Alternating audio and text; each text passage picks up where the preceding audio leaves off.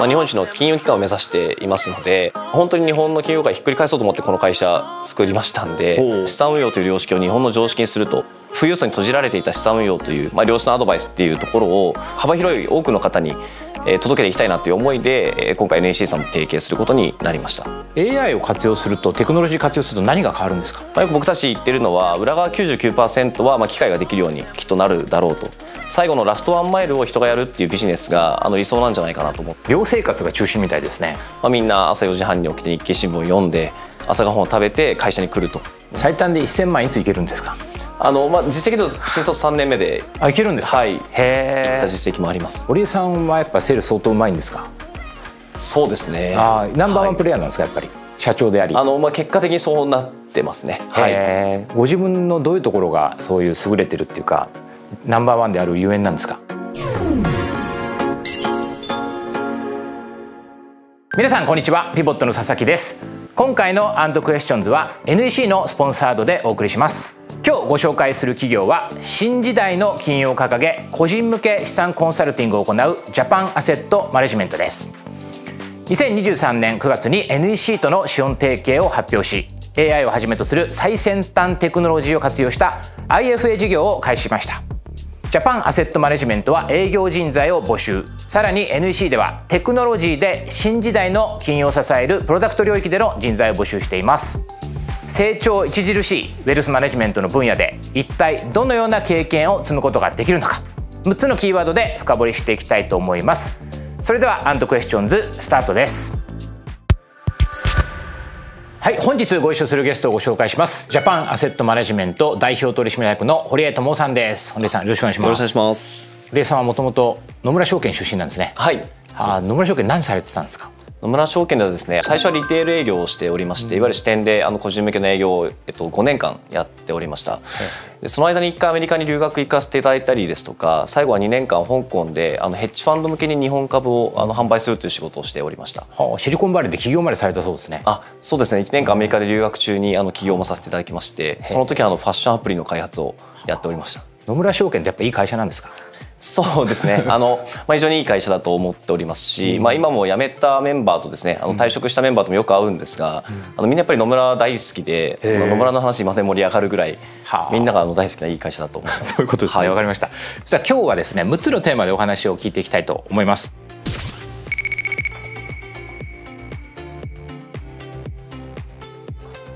まずちょっと最初に結構このどんな仕事をされてるのか事業内容はという話を聞いてその後ちょっとどういう採用方針とか御社のそういう採用方針とかそういったカルチャーとかの話をさせていただければと思います。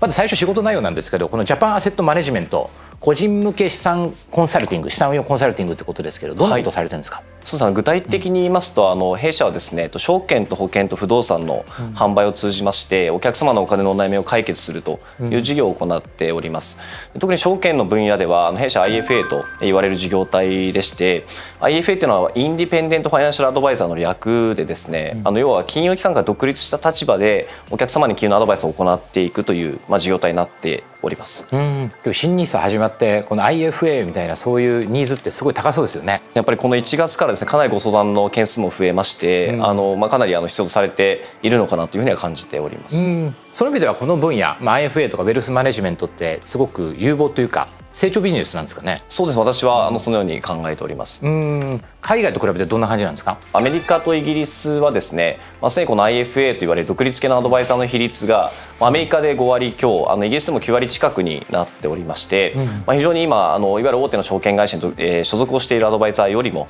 比率としては高くなっております。うんイギリスすごいですね。そうですね。もうほとんどが今あの独立系になっていますね。そうすると普通の家系って何らかの IFA とは関わりがあるっていう感じなんですか？よくあのまあ海外で言われるんですけれども、まあ三人の友を持てと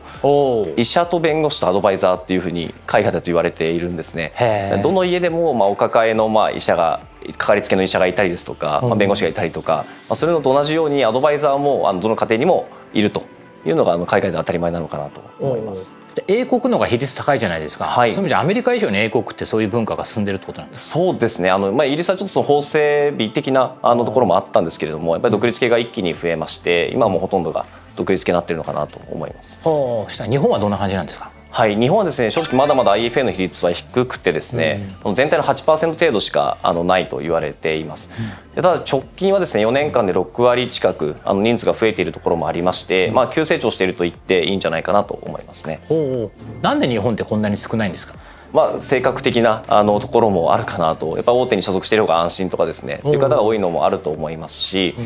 あ、あとはですねやっぱりあのまだまだ、えー、知名度が IFA 自体低いのかなと思っていまして、うん、あの金融業界いる人でもまあ知らない方もいらっしゃるぐらいだと思うので、うん、まあ、これ知名度が上がってくれば自然と増えてくる部分もあるんじゃないかなと思いますね。あけど FP みたいな言葉って一時期流行りましたけど、はい、FP と FA って何が違うんですか？そうですね。FP さんと事業モデルがあの違いましてあのファイナンシャルプランナーさん FP さんっていうのは基本的にタイムチャージでまあ、1時間いくらとか、まあ、1か月顧問料いくらという形でお金をお客様から直接いただくビジネスモデルなんですけれども、うん、まあ、弊社のような IFA というのは基本的にお客様が証券会社にお支払いするお手数料の一部を、うん、まあ、弊社あの IFA にですねお返しいただくというビジネスモデルになっておりますので、うん、まあ、金融商品の販売を通じてビジネスが成り立っているというのが IFA なのかなと思いますね。ああそっかそしたら FP よりも広がりやすいんですかね IFA の方が。そうですねやっぱり最後のエグゼキューションまであの注文の執行まで行えるというのが IFA と FP の、まあ、大きな違いなので、まずやっぱり FP でアドバイスをもらってもですねご自身であの注文出さなきゃいけないとか、はい、まあ、そういった手間はあの省けるのかなと思いますね。うんそうするとまとめると、まあ、8%ぐらいしかまだいないけど急成長ビジネスで、はい、これからどんな感じで伸びていくんですかね？まあ、正直ですね今 IFA 自体は、まあ、数はどんどん増えていってるんですけれども、うん、やっぱり業界の問題としてそのアドバイザーの質の問題っていうのはやっぱり言われてるところでもあるので、まあ、このままどんどん人が増えていくと、まあ、どっかでその質があのより問題視されて、うん、まあ、もしかしたら新しい規制が入ったりですとかあの、まあ、少しその頭打ちになる瞬間あるかもしれないんですが世の中的に必要とされる業態でもあるとは思っているので、うんうん、まあ、長い目で見たら間違いなく伸びていくビジネスなんじゃないかなと思っています。資格とか必要なんですか？一応あの、まあ、IFA 個人でなる場合は証券外務員という資格が必要で、うん、これはあの証券会社でも銀行でもですねあの営業を行う場合は必ず必要な資格なんですけれども、まあ、それが必要になります、うんうん、証券外務員って難しいんですか？ああのそんなことなくてですね。どれぐらいで取れるんですか？大体1週間か2週間本気で勉強すれば皆さん合格してるんじゃないかなと、はい、思います。なんでちゃんとした資格作んないんですかね？なんかそうすると信頼性上がるじゃないですか。日本って資格好きじゃないですか。おっしゃる通りですね。会計士がどうだとか、うん、なんか今度作ればそれでそこで稼げるとなったら、はい、一気に増えそうな気がしますけどね。確かにそうです、まあ、ただその門戸を今広げている状態なのかなとも思うので逆にいきなり狭めてしまうとこの IFA 自体が日本でなかなか根付かない可能性もあるので、まあ、あの将来的にはそういった可能性もあるかの資格ができる可能性もあるかなと思うんですが、はい、現時点ではないですね。そうですね。そういった中でジャパンアセットマネジメントがなんで立ち上がったのかっていうか、はい、どういう問題意識を持っているのかとかそういうところ堀江さんのキャリアも含めてどうですか？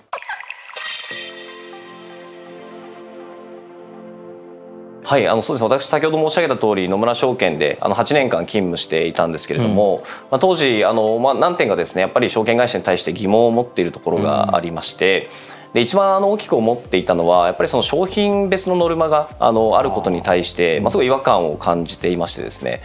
でこれノルマがあるのはまああの仕方ない部分もやっぱりあるのかなと思うんですけれども、まあ、召喚集としてですねやっぱりまあ今までそういった金融商品を決めてそれを販売するという文化がぱり大手の証券会社強かったりですとか、うん、あとはあの引き受けがある事業体でもあるので、まあ、どうしてもお客様がですね個人の投資家だけじゃなくて、まあ、発行体の企業さんでもあのお客様ではありますので、まあ、何かあの、まあ、公募増資だとか新規上場あればですねその商品必ず販売しなきゃいけないと。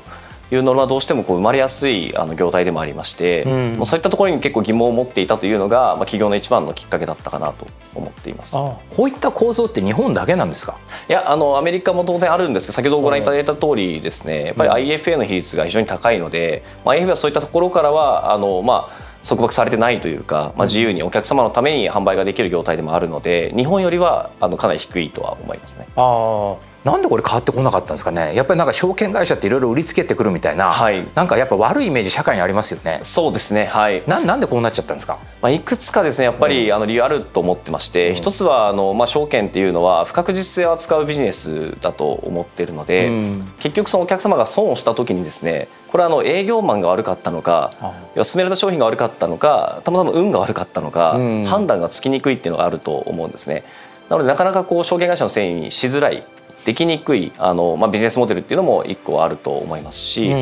あとはあのお客様側のやっぱりリテラシーの問題もあるのかなとは思っていまして、日本は金融リテラシーが低いとずっと言われておりますが、うん、そういった理由もあってですねなかなかその見抜けないというか、うん、いい営業マン悪い営業マンを見抜きにくいあの、まあ、文化がですね日本は強いのかなと思いますね、うん、そういう意味では構造的にちょっと顧客志向になりにくいっていうところがあったんですかね。そうですねはい。それをどういうふうに変えていきたいんですか？私どもはですねやっぱりお客様により近い立場で、まあ、あの提案を行っていきたいというのががありましてお客様自身のリテラシーを上げていくということもあの自分たちの使命だと思っておりますし、うん、まあ、当然あの弊社で抱えているアドバイザーの質もですねどんどん上げていきたいなというふうに思っています。うん、これ手数料物を売って手数料をもらうってモデルだとより取引を多くしてほしいというふうになっちゃわないんですか、はいそれはおっしゃる通りなんですけれどもやっぱりそこに対する疑問を抱いたあの人間がですね弊社所属をしておりますのでたくさん取引をいただいてたくさん手数料をいただこうということ自体はもう間違いなくあのよくないよねと間違ってるなというふうに感じているメンバーが多いので結果的に弊社はそうなってはいないですね。あそうなんですね、はい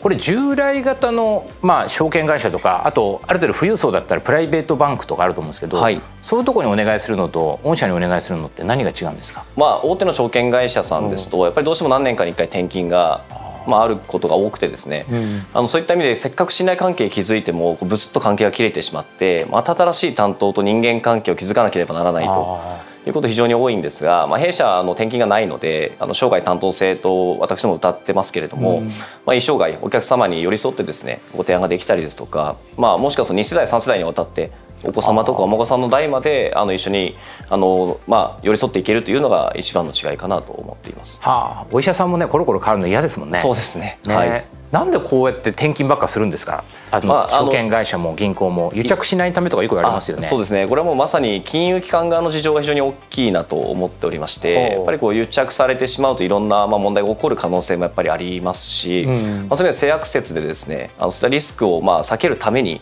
転勤させてるのかなというのは思いますね。はあ、そっか。そしたら同じ人にずっと信頼する人に担当してもらえて、はい、個別の商品特定の商品をいっぱい売られることもなく、はい、ポートフォリオっていうか何が一番いいものかっていうのを一緒に考えながらできると。おっしゃる通りです。はい。そこが強みなんですね。はい。はあ、それと加えてあと新時代金融っていう言い方してますけど、AGI って言うんですかね。はい。それって何なんですか？あ、AGI はですねやっぱり AI がこれからどんどん進化していってより汎用的なあの技術を持つというふうに言われておりますので、まあ、そういった時代の中で、まあ、自分たち何ができるかっていうのは、まあ、常に考えていかなきゃいけないなというふうにあの考えています。でまあ、先ほど申し上げたですねその商品決められたあの商品のノルマがあるですとか、はい、そういったのも全時代の金融だとすると、まあ、自分たちはお客様にとって本当に必要なものを提案していくですとか、まあ、もっと言うとですねお客様自身が気づいていないようなニーズを、まあ、僕たちが発見して、うん、まあ、そこに対して提案を行っていくっていうところが、まあ、あの今求められていると思ってますし、うん、まあ、今後より AI が進化すればするほどですね、顕在化されたニーズっていうのは AI でやっぱり片付けられるところがあると思うので、お客様自身が気づいていない潜在的なニーズを、まあ、掘り起こしていくっていうところが自分たちの掲げる新時代金融という形なのかなと思っています。うん、そこの AI の話がきっとこの成長戦略のところにもつながってくるかなというふうに思うんですけど、はい、これまあ NEC と提携をして、はい、そこでまあ AI 技術を生かすっていうところあると思うんですけどこれなんで提携されたんですか？私どもはですねあの自分たちであのずっと営業組織を作ってきまして、まあ、主に富裕層向けにあのビジネスを展開してきた経緯があります。でただですね弊社あのビジョンは資産運用という良識を日本の常識にするというビジョンを掲げておりましてやっぱりこう今まで富裕層に閉じられていた資産運用という、まあ、良質なアドバイスっていうところを、まあ、よりマスマス層向けにあの、うん、広い幅広い多くの方に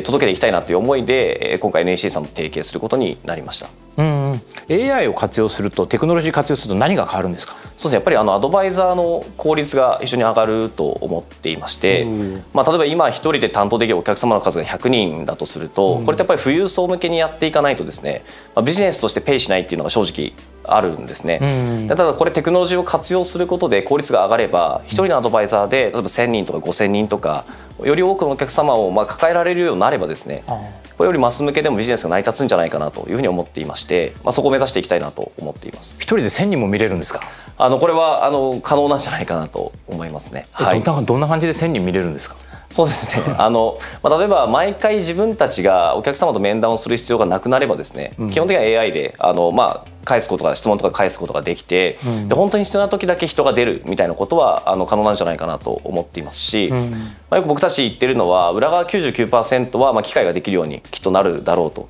最後のラストワンマイルを人がやるっていうビジネスがあの理想なんじゃないかなと思っていまして、はあ、そこまで効率化を進めればあの多くのお客様を抱えることも可能なのかなと考えています。あロボアドバイザーみたいなビジネスもありますけどやっぱり 100%AI じゃなく最後にあの人間がいるって大事なんですか？やっぱりあのお金の話ですので、うん、まあ、納得感ですとかあの、まあ、その時の満足感で非常に大事だと思っていまして、うん、まあ、例えば AI があの、まあ、資産運用をです、ね、全部指南してくれて、まあ、自動的にこうしなさいと言われてもなんか不安だなとか例えば損した時にですねやっぱりそこに対して納得感が得られなかったりとか、うん、まあ、そういったところは私は非常にあるんじゃないかなと思っているので、うん、やっぱりこう最後不安な時に頼れる人がいるとかですね、うん、下がった時不安な時に、まあ、相手、まあ、お話をできるですねアドバイザーがいるっていうのはお客様が長い運用する上では長期的運用する上では非常に大事なんじゃないかなと思っています。はあ、したテクノロジーと人を使って結構パーソナライズされた感じにどんどんなっていくんですか？そうですね。あの今までやっぱりパーソナライズされた資産運用っていうのは富裕層に閉じられていた。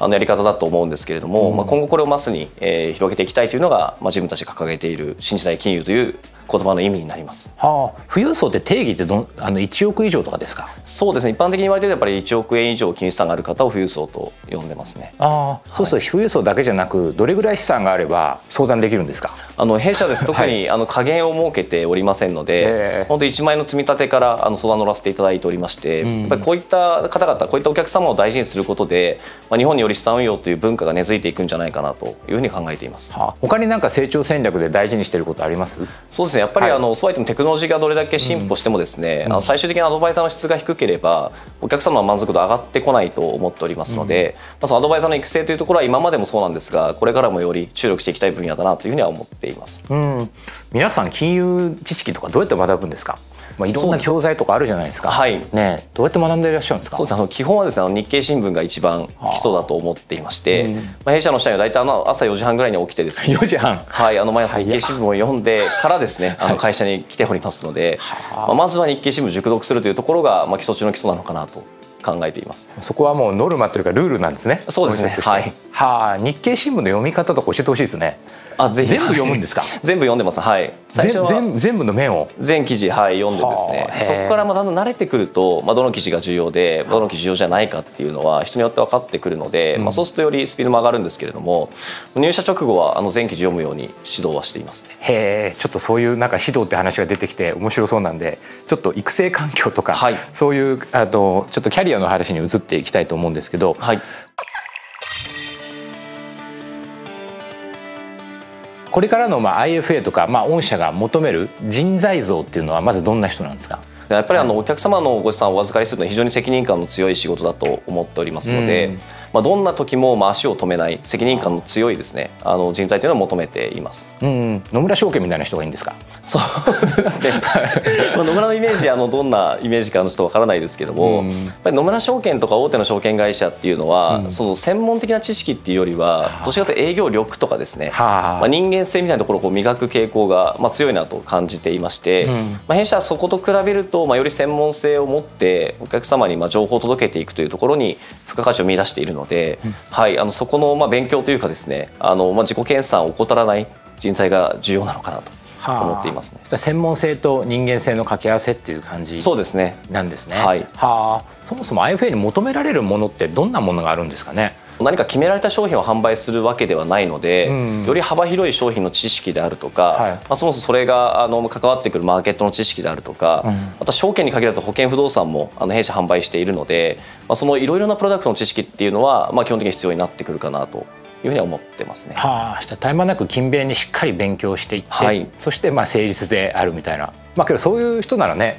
なんか一緒に付き合いたいと思いますよね。IFA の方としてですよね、まあ、お客様自身もやっぱりリテラシーがあの昨今こう上がってきている傾向にもありますので、うん、まあ、その時にあの、まあ、大した知識がないアドバイザーですと、まあ、わざわざつける必要がないというふうに判断されてしまうと思ってまして、まあ、より深い知識だとか専門性っていうのが、まあ、重要性増してるんじゃないかなと思いますね。はあ、体育会系出身が多いんですか？結果的に体育会出身は多いですね。先ほどあの申し上げたあのどの時も足を止めないとかですね、うん、何かこう壁にぶつかっても乗り越えていくみたいなあの資質が非常に僕は重要だと思ってるんですけれども、うん、まあ、結果的にそういう人材は体育会系に多いのかなということであの体育会体育会出身が多くなってますね、うん、野球部の人が多そうですよね。野球部多い 野球と IFA は相性がいいんですか？どうなんですかね、まあ、でも確かに結果的にあの、まあ、甲子園優勝したメンバーもいますし、はい、甲子園出てたりだとか何人かあのいますね。野球本格的にやってたメンバーは。野球選手とか資産運用で失敗する人多いじゃないですか。あそうですね。そういうプロ選手とかにもアドバイスされてるんですか？弊社のアスマネというサービスをあのやっていまして、うん、まあ、プロ野球選手だとかプロサッカー選手だとか、いろいろなアスリートの方にですね競技に集中してほしいっていうのもあるので、はい、お金のまあ心配はあのないようになくせるようにですね、うん、弊社がアドバイザーとしてついてあの伴走しているというのはやっています。はあ、先ほど4時半から日経新聞って話ありましたけど寮生活が中心みたいですね。はいあの、はい、弊社新入社員はですねあの全員寮に入ってもらっていまして、はあ、まあ、一軒家でですねあの、まあ、それぞれ部屋はあるんですけれども、うん、まあ、みんな朝4時半に起きて日経新聞を読んで朝ごはんを食べて会社に来るというあの生活を送ってもらっています。はあ、一見時代錯誤に思えますけど、はい、なんでそういう方針なんですか？はい、あの私自身がですね、あの野村証券時代寮にあの20代ずっと住んでいまして、でこれはあの吉橋まああるとは思うんですけれども、あの仕事に集中するという面においてはまあ非常に良かったんですね。うん、なのでまあそういった文化をあのまあ弊社は残していきたいなと思っていまして、うん、あのまあ創業時から寮っていうのを作ってですね、新入社員は全員寮に入るというふうに行っております。なんで4時半に起きなきゃいけないんですか？私とか朝弱いんですけど、4時半きついなと思って。そうですね。あの、うん、マーケットが9時から開きますので、あまあそれに合わせてその前には情報収集とまあその日の考えをまとめるという観点で言うと、逆算すると大体4時半とか5時ぐらいに起きないとですね、うん、なかなか最初のうちは間に合わないのかなと思います。あ、そかマーケットもしっかり見るんですね。あ、はい。やっぱりもう日々マーケット変わっていくので、うん、まあ昨日の知識っても今日には意味がなくなっていると思ってまして、うん、ずっとアップデートし続けるべきあの仕事だと思うので、毎日勉強するという意味ではですね、やっぱ朝早く起きないと。間に合わないのかなと思います、ね、IFA っていうとなんかもっと長期的なものを見てるのかなと思ったんですけど、はい、直近の相場なんでこれが上がってるのかとかこういうのも答えられないといけないってことなんですね。おっしゃるとりですね。あのやっぱ短期の連続が長期につながってくるので、まあ、日々の動きから目をそらしてしまうとですね結局長期も見誤るのかなと思っていまして、まあ、日々のアップデートも非常に重要なあの業態だと思っています。はあ、典型的な新人の方の生活で4時半に起きて、日経新聞読んで、はい、その後どんな感じの一日になるんですか？まあ、大体朝7時半ぐらいには会社に来てですね、あの始業がまあ8時なんですけれども、まあ、その前にその日経新聞を読んで一番こう気になった記事を、まあ、上司にプレゼンするっていう時間があるんですね。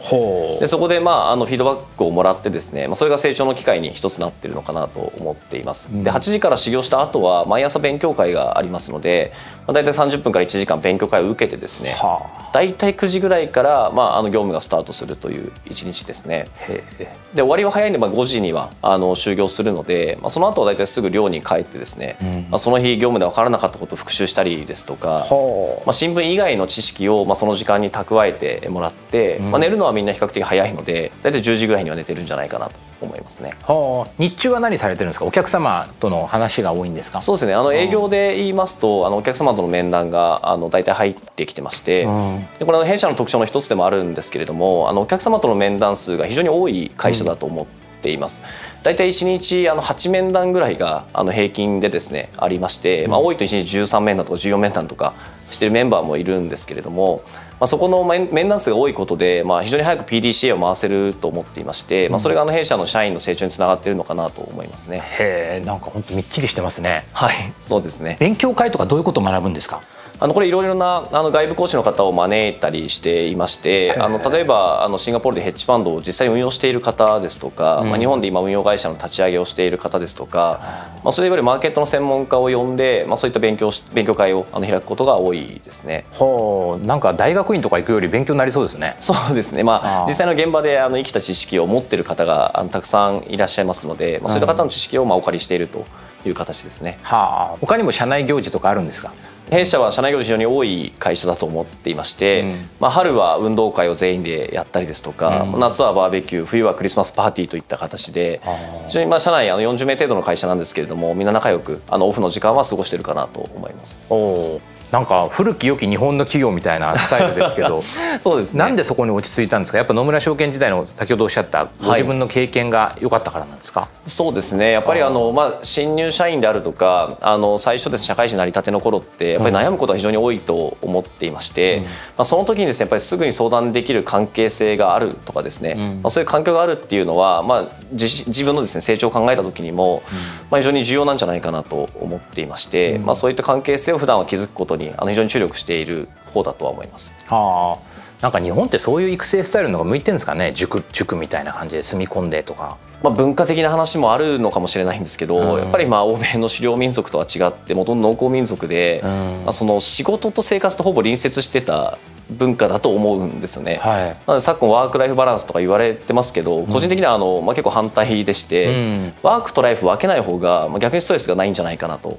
思うんですよね。うん、それ分けちゃうからわ仕事だとかなんかワークの時間が長くてストレスだとかってなると思うんですけど、はあ、まあ、なんかライフ・アズ・ワークみたいなあの感じになればですね、うん、まあ、あのあまりストレスもなくてあの、まあ、本当に楽しくあの生活できるんじゃないかなっていうのは感じてます。うん、なんか分かりやすい方針ですね。なんか向き不向きが結構くっきり分かれて。だと思いますね、ね、はい、特に20代前半は仕事に打ち込めっていうのはまあずっと言ってますので、うん、まあ、そういう意味でそれを求めてるあのやっぱり若い人たちも今非常に多いと思ってますし、うん、まあ、短期的に成長したいとかですね辛くてもいいからあの、まあ、大きく成長したいっていう人には非常に向いてる会社なのかなと思います、はあ、20代を修行僧のようにしっかり修行して自分に力をつけたいっていう人にぜひ来てほしいってことですね。おっしゃる通りです。はい。はあ、そっか。そういう方針が明確だと選ぶ方も分かりやすくていいですね。はい。あのギャップがないように、あの、うん、まあ事前にそういうことは伝えてまして、うん、まあ結果の離職率は低い方かなとは思います。わかりました。そうやって多くの金融知識とかいろんなものを得ていくってことですね。はい。はい、わかりました。その上でやっぱり皆さん気になる年収とか待遇とか、はい、こういった面ってどうなってんですか？まあ給与形態とかも含めて。はい。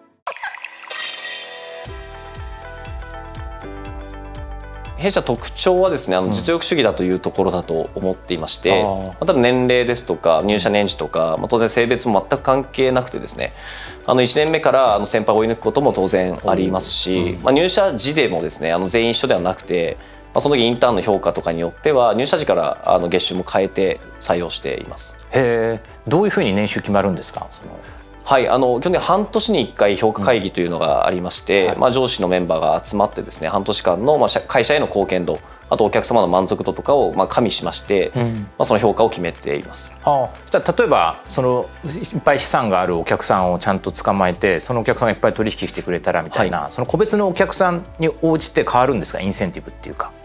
はい、あのまあ、個別のというかですねそのアドバイザーが抱えている、まあ、お客様全体からの、まあ、評価によって、うん、あの待遇決まりますので、まあ、一人とかでは決まらないですね。あはい、なんかそういうテーブルとかがあるのか例えばいっぱい契約したらやっぱその分入ってくるのか、まあ、例えばプルデンシャル生命とか、まあ、そんな感じでもうめちゃくちゃ競争主義じゃないですか、はい、ああいう感じなのかあくまでその数字はいろんな評価を見ていろんなテーブルがあって上がっていくみたいな感じなのか。どんな感じなんですか？はいそういう校舎でしてあのテーブルがあってですね、うん、はいあのまあ売上だけではなくて、まあ、総合的に見てですね定量面定性面を考えてグレード自体はこう上がっていくような仕組みになっています。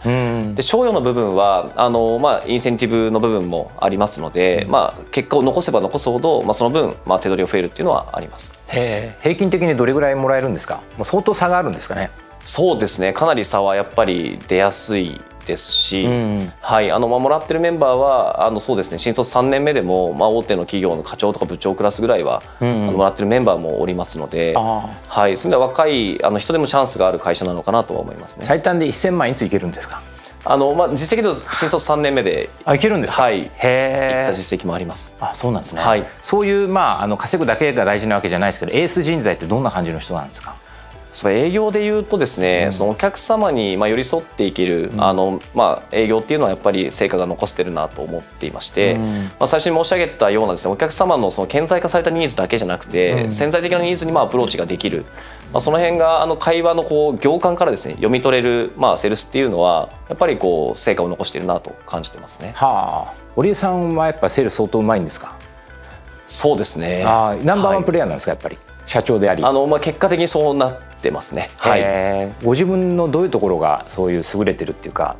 ナンバーワンであるゆえんなんですか？そうですね。あの私もあのマーケットも大好きですしまあ、インプットが全く苦にならないので、まあ、日曜日も1日15時間ぐらいはずっとインプットの時間に当ててるんですけれども。日曜日1日15時間ですか？はい、まあ、ずっと家にこもってあのインプットしてるんですが、まあ、そういったその知識面っていうのは、まあ、一つの強みなのかなというのは、感じてますし。趣味とかないんですか？趣味はあります。ありますか？はい。趣味なんですか？私もあの大会系だって体を動かすのが好きで今はあのずっとアイスホッケーやってるんですけどアイスホッケーと、まあ、最近キックボクシングを始めてですね。なんか強そうですもんね。あいえいえそんなことないんですけど、うん、まあウェイトトレーニングもはいやってます。本当マーケットとか金融がお好きなんですね。結果的にもともと興味があったわけではなかったんですけれども、うん、野村証券入社をしてからまあ、あの興味を持ちまして、うん、今ではもう本当に日経新聞読まないとちょっと気持ち悪くて、はあ、はい、あの寝れないぐらいですね。はあ、はい、好きなのかなと思います。そういうことなんですね。はい。例えば相談したらどんなふうに答えてくれるんですか？ちょっと仮ですけど、はい、私ちょっと今1000万余ってまして、はい、これをちょっと運用したいんですけど、はい、あの海外株今人気じゃないですか、うん、S&P とか、けど今ね円安に触れてますしいつ円高になるか分かんないと、で S&P も今最高値でい。つ落ちるか分かんない、っていう脅す人もいっぱいいますと、そういった中でどういうふうに振り上げたらいいでしょうかと。この1000万は、別にもう10年後とかにもっと増えてる場合よくて、直近必要なお金でもないんですよ、はい、だからある程度リスクは取っていいかなと思ってるんですけど、はい、この1000万どうしましょうか堀江さん。そうですあのまずですね。いきなりいきなり相談が始まってこれ仮ですよ。はい、はい、まずやっぱり佐々木さんのですね、はい、あのまあえー、背景的な部分を、まあ、いろいろお聞きしたいなと思っていまして、はい、ご家族構成であるとか、はい、その1000万円以外のご資産のバランスとかですね、うん、それによって進める商品っていうのは変わってくるのかなと、まあ、そもそも1000万円運用しない方がいいっていう可能性もあるので、うん、まずはそこからあのヒアリングをしっかりさせてもらえたらと思っています。あおそらく佐々木さんの場合はご資産のほとんどが、はい、あのこの御社の自社株の比率が高いと思ってるので、かなりちょっと特殊なケースであんまり参考にならないかもしれないですね。そうですね、なのでまあそういう意味ではあの円ベースのご資産がほとんどだと思うので確かに、まあ、そういう意味では外貨の比率を増やすという意味では、まあ、1000万円全部外貨にすること自体は全く問題がないかなと思ってています。でその上で本当に株がいいのか、まあ、一部やっぱり債券を入れた方がいいのかっていうのは、これお客様によって考え方変わってきますので、まあ、リスクを取れるとはいえですね、やっぱりいきなりご資産が半分になったらそれがあの本当メンタルに響いて、お仕事にも支障が出る可能性がそうですねありますね。司会してる時もそればっか考えちゃうかもしれないね。そうですよね。はい。その本望ではないと思いますんで、その辺も含めてその比率を一緒に考えていけたらいいんじゃないかなと思ってますね。うん。したらまずは最初に大きくポートフォリオバランスみたいなものを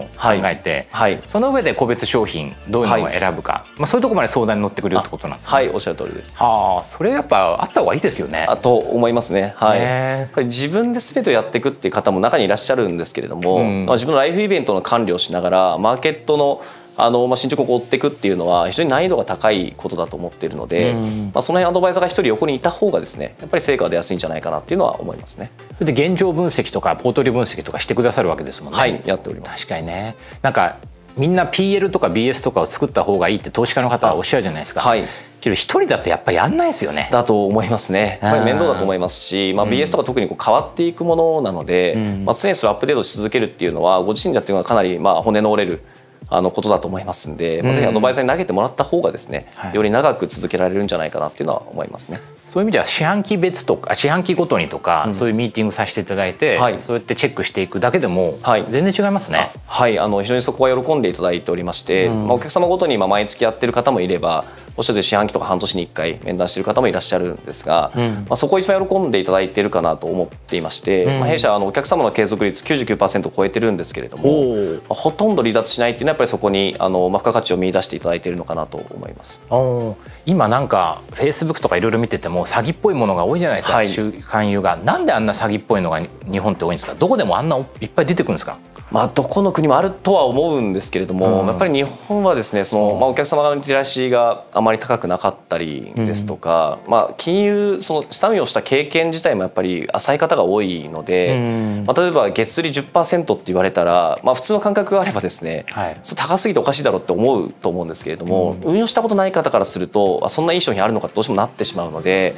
まあ、そういったあのところからやっぱりこう詐欺が多いのかなっていうのは思いますね。その意味ではお医者さんとかだとやっぱりちゃんと一応ね、あの学校出てライセンス持ってる人ばっかりなんで、はい、やぶ医者がいたとしても加減があるじゃないですか。そうですね。なんでお金そういうふうになんないんですかね？うん。なぜそういうなんかリテラシーが低い人ほどそういうところに相談した方がいいじゃないですか。おっしゃる通りですね、はい、そこをなんか税金控除してあげたりとか、うん、そういうところになんか国って補助金とか出してもいい気もしますけどね。確かに。それぜひあの提言していただいて。はい、い。やなんかねそういうね騙される人が多いとまた良くないイメージになっちゃうじゃないですか、ね、はい、うん。まあ、SNS がやっぱりこう広がってきたこともあってですね、うん、そういった情報に触れる機会も非常にこう増えてるのかなとよくも悪くもですね、うん、いい情報に触れる機会も増えてますし、はい、そういうこう悪い詐欺みたいな話もたくさんやっぱりこうツイッターとかでもあるので、まあ、そこは皆さん注意していただきたいなっていうのは思ってますね。そうですよね。はい、あとまあ給与待遇のとこで福利厚生とかはどうなんでしょうか？はいあのまあ、福利厚生は基本的に弊社はやっぱりベンチャーなので少ない方だとは思ってまして、うん、まあ、その分をまあ個人の企業に返していくっていうのが、まあ、基本的なスタンスではあるんですけれども、うん、まあ、あのあるとしたらですね5日間の連休を四半期に1回取れるので、まあ、年4回あの5連休取れますと。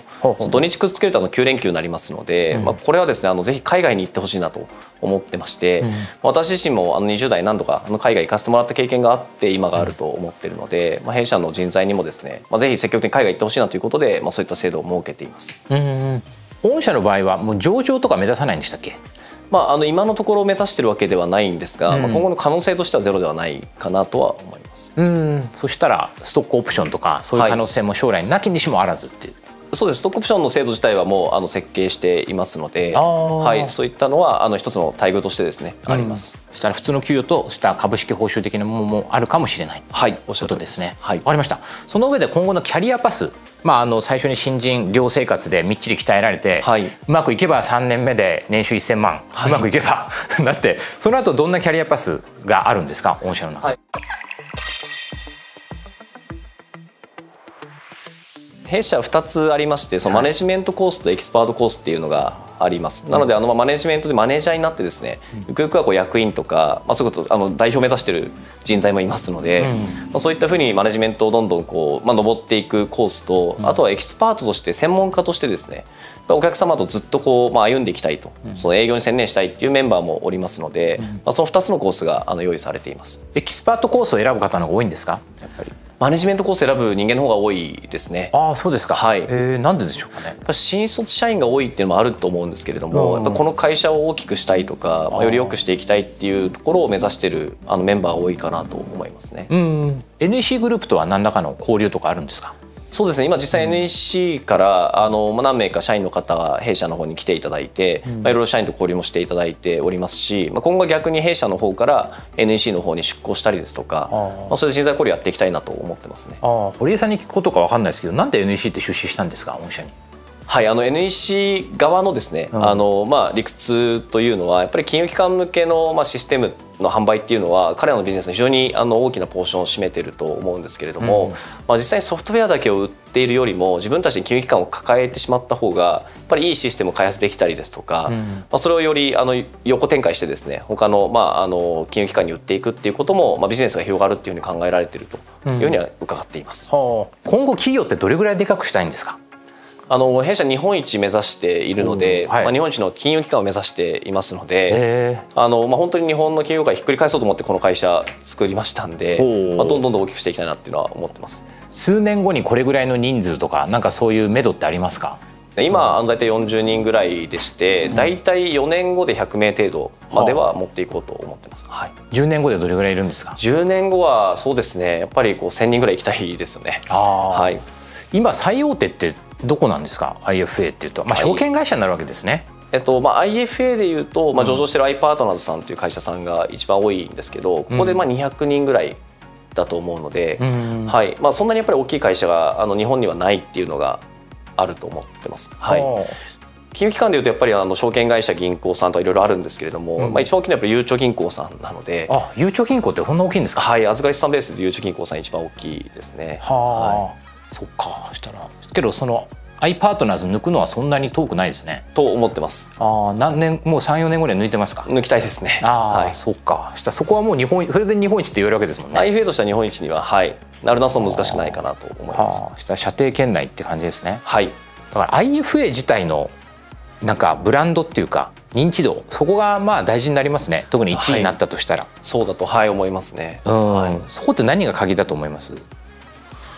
そうですね。やっぱりこの業態のメリットであるとか、うん、あのやっぱり優れてる点構造的にあの金融機関に優れてる点はたくさんあるので、うん、まあ、そこをやっぱりこうお客様に訴えていくというか、まあ、認知を広げていくってことかなと思うんですけれども、まあ、ちゃんとブランディングとかマーケティングやってる会社って正直 IFA 業界ないので、まあ、そこはあの、まあ、僕たちは力を入れてやっていきたいなっていうのは思ってます。うん、これ堀江さんにたっぷりはい、事業内容から求める人材像まで伺いましたけど、まあ、最後に改めて総括としてジャパンアセットマネジメントそして NEC が求める人材像について教えてくれますか、はい、はい、えっと、まず弊社が求める人材像は努力が継続できる方だと思っていまして、うん、まあ、今まで申し上げてきたようなですね毎日のアップデートがやっぱりこう必要であったりですとか、まあ、責任感の強い仕事だと思ってますので、うん、まあ、そこに耐えうるだけの、まあ、強いモチベーションを持った人材にぜひ来てほしいなと思っています。うん、NEC 側はどうですか？はい、あの NEC はですねやっぱり今までこう 2B のビジネスの、まあ、イメージが非常に強かったと思うんですけれども、まあ、このビジネスは 2C の、まあ、新しい AI を活用した本当今までないサービスを作っていくビジネスだと思ってますので、うん、まあ、AI を使ってですねこう創意工夫していきたいですとか本当に、まあ、あの顧客体験今までにないような顧客体験を、まあ、作っていきたいという方に、まあ、来てほしいなと思っています。堀江さんなんか厳しそうですけどね、はい、温かそうでもありますよね。そうですね。はい、あのよくそういうふうには言っていただいてます。社内ではめちゃくちゃ怖いんですか？まあ、あの仕事中は怖い方だと思うんですけど、うん、まあ、あのオフの時やっぱり距離近いので、はあ、まだ人数の少ない会社でもありますし、うん、まあ、先ほど申し上げたイベントがあったり、まあ、部活動とかもいろいろあるので、うん、そういったところでこう社員とは距離近くやってますね。はあ、はい、やっぱ金融とかマーケット結構好きだっていうのも大事かもしれませんね。そうですね、まあ、今は興味がなくてもいいんですけれども、ね、やっぱり一つのことにこう没頭できるっていうのは、まあ、非常に重要な資質だと思ってますので、まあ、そういう方にぜひ応募していただきたいなと思っています。そしてこの職種のポテンシャルはもう絶対保証するってことですよね。おっしゃる通りです。はい、間違いなく伸びる分野だと思っています。野村証券出身じゃなくても大丈夫ですか？全然大丈夫です、はい、大丈夫ですか、はい、カルチャーフィット大丈夫ですか？大丈夫だと思います。大丈夫ということで、あの皆さん出身を選びませんので、はい、ぜひジャパンアセットマネジメントあの選んでいただければと思います、はい、ということで本日は堀井さんお話ありがとうございました。ありがとうございました